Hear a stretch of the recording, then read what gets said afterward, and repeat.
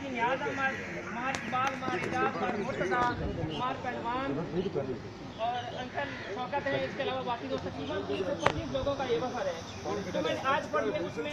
جب سلیمان نمل کے پاس پہنچے، ایک چونٹیوں کی وادی کے پاس چونٹیوں کی سردار بولی کہ، اے چونٹیوں اپنے اپنے بلوں میں داخل ہو جاؤ، کہیں ایسا نہ ہو، کہیں ایسا نہ ہو کہ تمہیں سلیمان اور ان کا لشکر کچل دے اور تمہیں خبر تک نہ ہو۔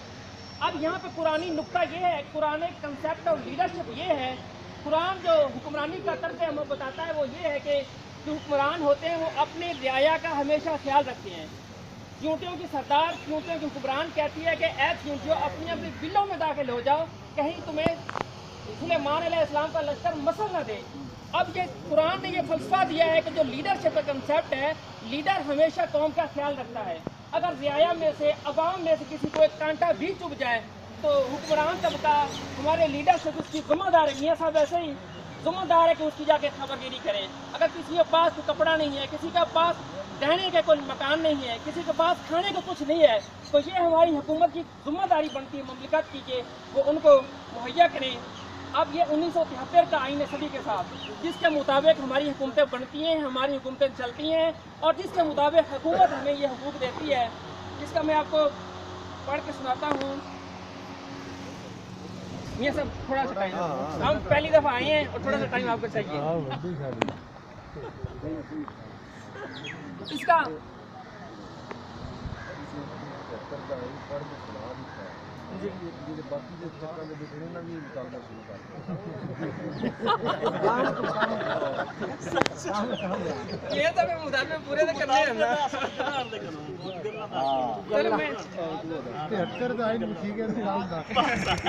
باتیں ہمارے پاس بے شماریں کرنے کی میاں صاحب کو اپنے دکھ سنانے کے لیے لیکن وقت کی نزاکت کو مد نظر رکھتے ہوئے جو ہمارے گاؤں کے مسائل ہیں وہ میاں صاحب کے ہم سامنے رکھتے ہیں تقریباً ہمارا گاؤں موزہ بوئیاں والا تاریخ کا ایک شاندار مطلب گاؤں ہے۔